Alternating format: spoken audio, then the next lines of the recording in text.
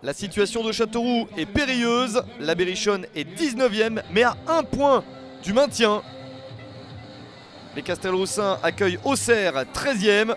Châteauroux doit évoluer sans Dupuis suspendu. Guerriero est blessé.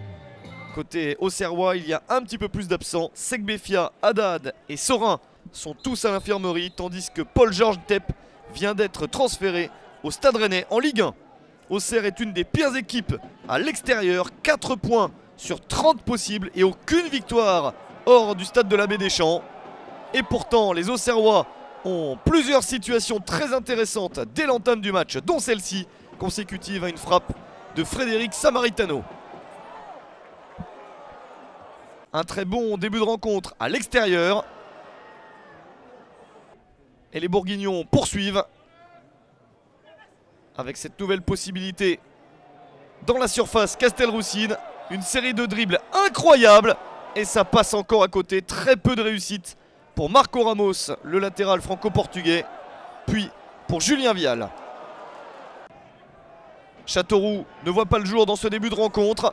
Et Auxerre continue à prendre sa chance dans différentes situations. Mais rien ne passe et à la pause, 0 à 0.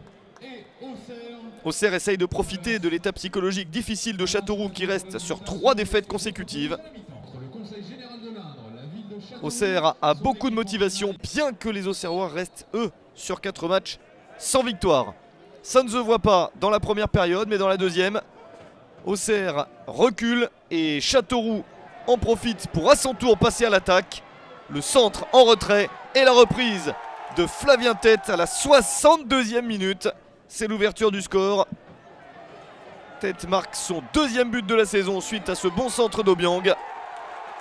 C'est cruel pour Auxerre qui a eu toutes les situations d'attaque de la première période, mais qui à l'heure de jeu se retrouve mené. Ce but a le mérite de libérer Châteauroux qui devant son public insiste. Nouvelle passe à la limite du hors-jeu. Et voilà le deuxième but. 75e minute, c'est Nasser Chamed qui réussit à marquer son premier but de la saison. Donovan Léon est battu dans le but au Serrois. Mené 2-0, la GIA tente de réduire l'écart. Mais il n'y a vraiment aucune réussite en attaque. Et après avoir copieusement dominé le début du match, Auxerre doit s'incliner 2-0 sur le terrain de Châteauroux.